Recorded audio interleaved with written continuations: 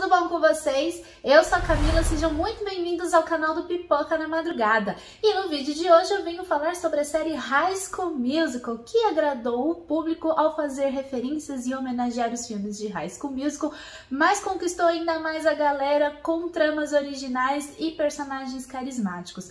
Mesmo com uns probleminhas, a primeira temporada fechou com chave de ouro e um ótimo gancho para uma continuação, que inclusive chega hoje no Disney Plus. Então, primeiro episódio da segunda temporada de High School Musical já está disponível no streaming. Eu já assisti os três primeiros episódios dessa segunda temporada. Essa nova temporada vai ser exibida semanalmente aqui no Brasil, mas eu posso dizer que a série ela retorna bem mais amadurecida, grandiosa e refinada. As coreografias estão muito mais bonitas e mais elaboradas. Os protagonistas fortalecem a trama, os personagens secundários ganham destaque maior e melhor. Novos rostinhos são apresentados. A série ela explora novas dinâmicas e novos conflitos de cada um e, é claro, apresenta música músicas originais, músicas tradicionais dos filmes High School Musical e também as músicas da nova peça que o East High vai preparar e que vão encantar e tocar no ponto nostálgico de cada um. Eu posso dizer que a segunda temporada de High School Musical começa com o pé direito e tem tudo para ficar melhor. Então, se você quer saber mais sobre a segunda temporada, continue assistindo ao vídeo. Esse vídeo é sem spoilers. Eu só vou fazer uns comentários a mais a respeito do primeiro episódio, até porque já está disponível no streaming. Então, continue assistindo ao vídeo. Já aproveita, se inscreve aqui no canal, aperta o botãozinho vermelho para não perder nenhuma novidade que eu postar aqui.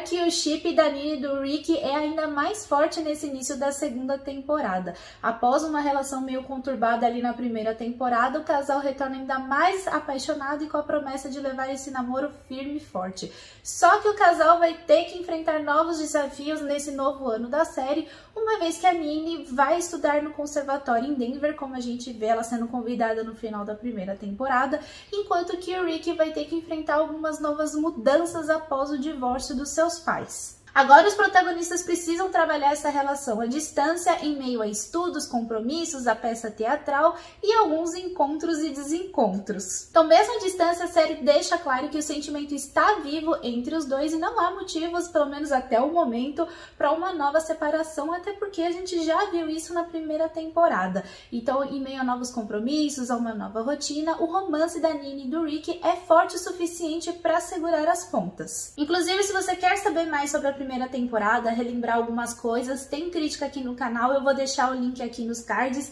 e também na caixa de descrição. Então, enquanto a gente acompanha o romance dos dois, a série também vai mostrando a adaptação da Nini no conservatório, enquanto a saudade aperta não só dos amigos, mas também da liberdade criativa que ela tinha no East High e que aqui no conservatório isso é bastante podado e a gente nota logo de cara.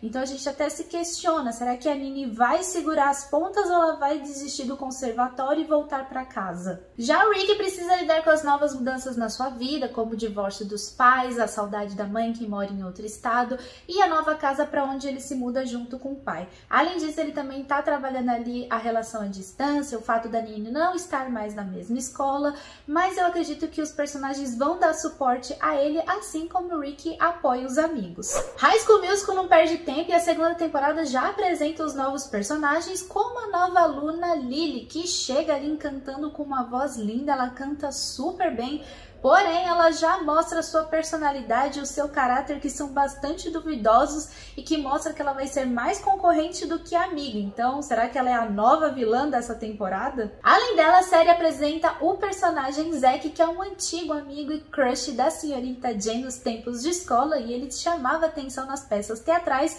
e agora ele está de volta para comandar a peça da escola North High e ele simplesmente vai fazer a peça da Pequena Sereia, gente. Só isso isso. E isso acaba mudando a senhorita Jane, fazendo ela mudar de ideia e mudar o percurso da peça do East High, surpreendendo todo mundo.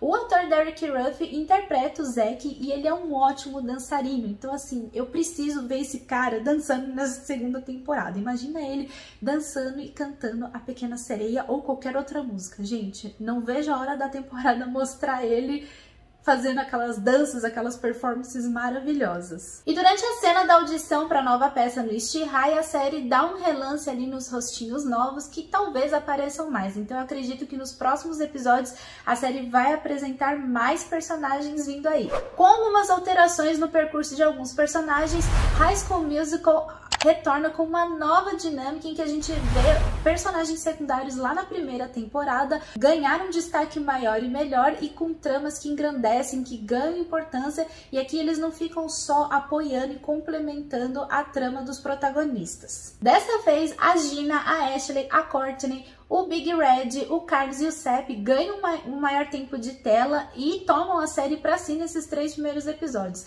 Na crítica da primeira temporada eu tinha falado que o Sepp estava bem apagadinho, só que agora ele retorna com força e a série explora a relação dele com o Carlos e como eles vão lidar com os novos desafios dessa peça teatral que a gente vai ver no East High e uma posição diferente que eles vão ter aí na nova apresentação, diferente do que eles fizeram na apresentação anterior. A grata surpresa aqui para mim é a trama da Ashley e do Big Red, que finalmente eles se tornam um casal e a série tem a chance de explorar um novo relacionamento. Como a gente vê no final da temporada passada, os dois se beijando, é uma cena super fofa em que a primeira temporada finaliza.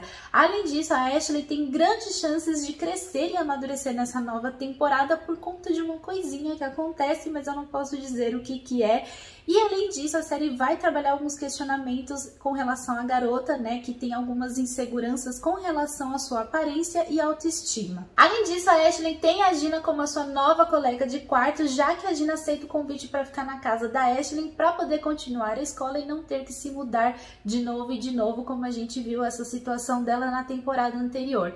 E aqui esse é um momento muito importante para a Gina para ela poder começar a trabalhar a sua independência, procurar o seu espaço e deixar a sua marca, né? Então, afinal, a gente vai ver ela lidando ali em deixar o seu, a sua marca registrada, fazer as coisas sozinhas e essa é uma grande oportunidade para a temporada trabalhar bem essa personagem. Além disso, a gente vê a Gina fazer novas conexões e valorizar ainda mais a amizade. Só que a série pontua uma certa dificuldade que a Gina tem de reaproximar do Rick, fazendo a gente pensar em duas coisas Será que a Gina tá nutrindo algum sentimento com relação ao garoto ou ela só quer mesmo consertar essa amizade que ficou abalada por conta do distanciamento? Vamos ver qual caminho a série vai seguir para essa personagem. Com a Nina em outra escola, a Courtney tem a chance de se reinventar e ela dá os primeiros passos para a realização dos seus objetivos com a independência financeira e uma nova tentativa de atuar na nova peça da escola, já que ela atuou na anterior e tomou gosto disso. Aliás, a Ashley, a Courtney e a Gina têm ótima química e eu quero ver mais e mais dessa amizade nessa nova temporada. Gostei muito desse trio. Já o EJ ficou um pouquinho apagado no início dessa segunda temporada, mas eu acredito que o personagem vai ganhar destaque e vai ter o seu grande momento, até porque ele vai ser um dos primeiros personagens a se formar na escola. Então será que a gente vai ver o EJ se despedindo aí no final da segunda temporada? Nessa segunda temporada de High School Musical, a gente acreditou que veria os alunos ali fazendo a peça baseada no segundo filme de High School Musical, mas todo mundo aqui se enganou. Então a senhorita Jane resolveu mudar de ideia e levar a galera para um nível superior e assim ela decide fazer a peça de A Bela e a Fera. E relaxa, gente, isso não é spoiler porque isso já foi divulgado tanto no trailer quanto nas notícias a respeito dessa nova temporada. Então o que eu posso dizer é que essa nova temporada vai cutucar o nosso lado nostálgico, obviamente sem esquecer das músicas tradicionais dos filmes High School Musical, até porque esse é o cenário principal que ajuda a contar as histórias dos personagens.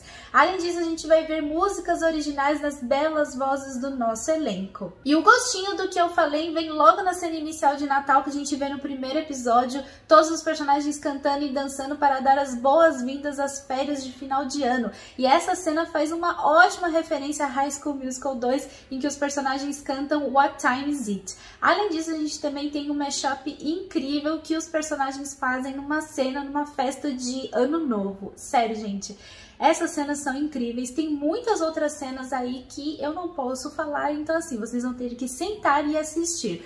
Mas eu posso dizer que tantas canções estão lindas, mas as coreografias estão muito bem elaboradas e performadas. Então, olha, dá gosto de assistir essa temporada, viu? A segunda temporada de High School Musical começa com o pé direito, mostrando amadurecimento, refinamento e uma, traz uma nova dinâmica entre os personagens. E essa temporada tem tudo para crescer, evoluir e dar certo.